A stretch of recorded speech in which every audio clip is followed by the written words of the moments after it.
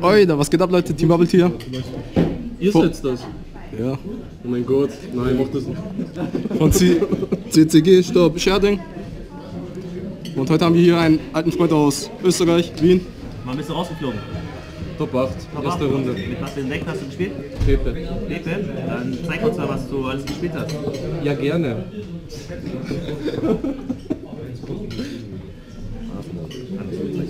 Ah ja, Entschuldigung.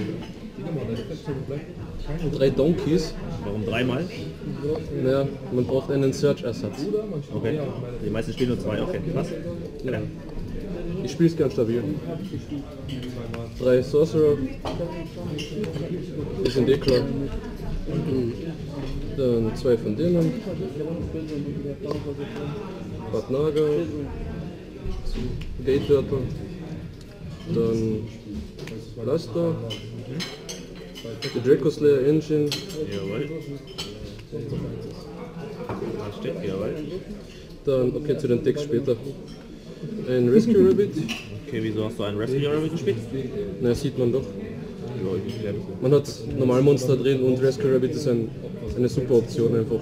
Okay. Wenn man anfängt damit, hat man gleich gleich mal Rang 4. Okay, perfekt, cool. Dann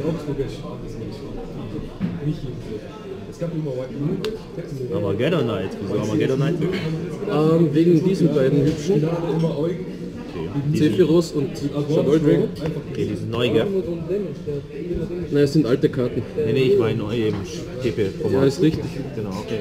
Na, man spielt sie deswegen, oder ich spiele sie, ich habe es mir abgeschaut, aber man spielt sie deswegen, damit man keine zum Beispiel Twin Twister spielen muss, weil wenn du das ziehst in der Starthand, Ja. dann kannst du den in Friedhof legen, ein, eine Scale bouncen und dann hast du schon Rang 4.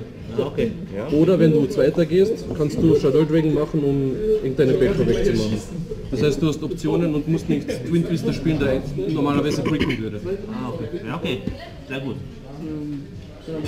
Dann der Lasterersatz, das Chamäleon. Ja. Kommst du schneller auf die Kiste, oder? Genau, weil wenn man das nicht sieht oder eben Face-Off, dann steht man da gegen Cosmo. Und dann, das ist neu, Okay, wieso das habe ich das da da eingetan. drin? Ähm, ich habe gemerkt, das macht das Deck eigentlich viel stabiler, weil die meiste Zeit hast du einen von denen. Das sind Dreier-Scales. Ja. Und das sind Fünfer-Scales. Das heißt, du hast die Scale einmal oder du startest mit einem von denen. Ja. Das ist die 6er Scale. Dann kannst du den Effekt machen und tust den in die Scale. Und dann hast du 6 und 1. Ja, okay. Ja, gut. Also du, du hast immer die passende Scale, wenn du das ziehst. Haben die so ein Mesh? Die Ich es oder? nie gezogen. Ich Okay. hab's auch nicht gesehen. Wirklich, das ist. Nie gezogen, okay. Ich habe den gezogen, aber den ich, habe ich Bendel beschworen. Also, Okay, ja, okay. Kann man nichts machen. Aber wenn- wenn- man es nicht zieht, dann zieht man es nicht. der, der Peter hat es gezogen und der hat angefangen mit, mit Turtle und dem und dann hat er den gebracht. Also scheint nicht schlecht zu sein. Okay, cool.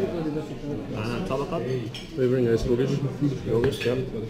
Face-Off muss man spielen. Zweimal, jawohl. Dann zwei Instant Fusion. Die sind auch gut für den Start, damit man erst einmal Backrow wegmacht oder ein störendes Monster. Oder Scale sucht, was auch immer. Ja, cool. Die zwei für Rafflesia. Okay. Das und nicht mehr die Timespace wegen Monarch. Ja, erklärend, ja. Und die zwei, äh, man, man, hat, man hat keine Juggler mehr. Das heißt, man stirbt einfach die ganze Zeit. Und ich wollte nicht sterben. Das Ziel beim Yu-Gi-Oh! oder nicht? Ja, das ist ein Problem. Aber das Problem ist ja auch, ich habe es fucking nie gezogen. Okay, äh, eine Frage.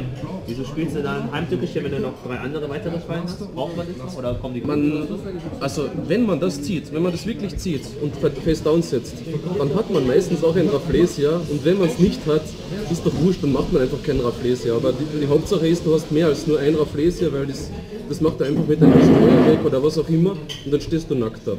Also nicht, ja, wurscht. Ja. Okay, ja, okay, cool, interessant. Dann kommen wir zum extra Deck. Ja. Drei Knister, Drei Stück. ja. Die meisten spielen zwei, aber warum hast du drei Das ist gespielt? richtig, aber die ganze Zeit beim Testen ist mir aufgefallen, gegen Cosmo braucht man die so oft. Und ich habe schon, ich hab schon Spiele gehabt, drei gebracht und zwei mit Emerald wieder zurückgemischt und wieder gebracht. Also Okay. ja, Das es ist ist, echt so gut. Das ist das einzige Out auf diese blöden Cosmo-Karten. Alle Cosmo-Spieler, spielt es nicht. Das ist scheiße. Leider. Hat er recht. Okay. Dinoster, Ja. Super Mirror, super, super, super. Zwei Noden für Instant, Film, jawohl. Dann ähm, Feldrand. Wie hast du das Ding gespielt? Den habe ich gespielt, weil man sehr oft anfangen kann mit den beiden. Und die zwei, den will man eigentlich nur stehen lassen, wenn man Mirror spielt und Scale hat. Wenn man keine Scale hat und Mirror spielt, dann will man Overlay machen und dann hat man gleich einmal für den gegnerischen Zug den. Ja, okay. Auf Joker, auf Pendulum Sorcerer, wurscht. Auf alles hier. Ja, Ja, okay, cool. weil die sind im gegnerischen Zug einfach, die machen nichts. Kann ich machen, genau. Trapez für OTKs, weil ich spiele auch die Magicians noch und auf den kommt man öfter. Den Scale suchen, das ist die, eine der wichtigsten Exit. Jawohl. Dweller gegen alles. Den Cosmo, ja, alles okay? Emerald, damit man Ignister fünfmal machen kann. Okay, sehr gut. Castell, weil er alt ist. Okay. Rafflesia, weil es gut ist. Und ja, Manchester für die Combo mit den dreien. Okay. Und auch sonst super. Und die letzte Direwolf für die Backo. Okay, cool. Dann kommen wir zum Side-Deck. Da. Also eine Emptiness. Die spiele ich nur, wenn ich anfange. Und die, board ich rein gegen so Cosmo oder im Mirror Match. Und ich kann sie dann aufdecken und dann habe ich meistens gewonnen. Okay. Wenn, wenn ich Zweiter gehe, nicht so gut. Iron War gegen Cosmo und, und Monarchen teilweise auch, weil das Okay. blockiert die meisten Effekte bei ihnen. Twin Twister und MSDs, Sechs Stück? ja, weil ich alle hasse, die Backrow spielen. Okay. Krass. Ja, okay, cool. Also wer spielt Backrow? Ist egal. Regeki ist toll, wenn man Zweiter geht im Mirror Match. Ist gut, wenn man Dweller hat gegen Cosmo und Regeki macht. Ist selbst gegen Monarch. Er hat die Field Spell, man macht Regeki und man kann wieder beschwören. Äh, Wähler und Max C.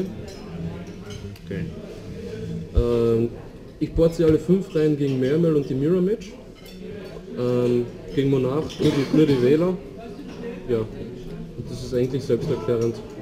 Das, das Gute ist halt, ich habe ich hab zuerst Chalice gespielt, aber dann bin ich drauf gekommen, wenn ich Max C mache und der Gegner will mich OTK, da kann ich so viele Chalice ziehen, wie viel ich will und es wird trotzdem ein OTK. Und deswegen ist es besser, den zu spielen. Und der hat auch in den Top 8, Bial hat er zweimal das Leben gerettet, deswegen hat er gewonnen. Okay. Ja, cool. Danke für den Deck-Profile. Äh, wann bist du rausgeflogen? Top 8, gell? Ja. Okay. Viel Glück beim nächsten Mal bei CCG Scherding. Wann ist Was denn wieder? laberst du, Mann? Wie waren deine Matchups so? Wie bist du durch die Vorrunde gegangen? Ich habe immer gegen Cosmo gespielt. Also Nur gegen Cosmo? quasi. Alle anderen waren schlecht. Okay, nicht so gut. Ähm, ja, gegen Cosmo ist das Problem wirklich, man, man darf nicht OTK werden und, das, und ich würde gerne noch mehr Fallen spielen, aber wird das Deck instabil. Also ich muss mir wirklich was überlegen, das ist kompliziert. Und die, Matchups eigentlich sind super gut. Ich meine, du, du stellst halt immer ein fettes Feld raus, aber das Problem ist halt wirklich, du sagst Go und dann musst du Angst haben, ja, ich habe keine Damage Juggler oder so. Du kannst ziemlich schnell sterben. Okay. An sich, wie ist das Deck jetzt so für dich jetzt neu nach der Liste? Ich find's- es immer noch was oder Ja, ich finde vielleicht ich find, ich so? find super gut, die Pendelmechanik ist einfach überzeugend. Es, es, kommt, es, es geht kein Weg daran vorbei praktisch. Also ähm, gegen Cosmo hat man wirklich nur Probleme, weil man stirbt, aber man stirbt meistens im Plus. Es ist nicht das Problem, dass du jetzt irgendwie nichts mehr ziehst oder so. Und ich muss mir wirklich was überlegen für die Defense. Sonst würde ich das Deck weiterspielen, das ist super gut. Hast du noch irgendwelche abschließenden Worte? Möchtest du irgendjemanden grüßen? Äh, jeder. Ich kenne sie nicht, aber ist egal. Ansonsten viel Glück beim nächsten Mal, am nächsten Turnier. Wir drücken dir die Daumen.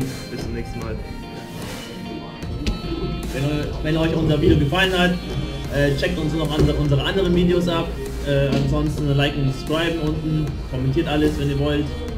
Checkt unsere anderen Sponsoren noch ab. Unsere Facebook-Seite wird auch immer neu aufgefrischt. Ansonsten leidet es nicht.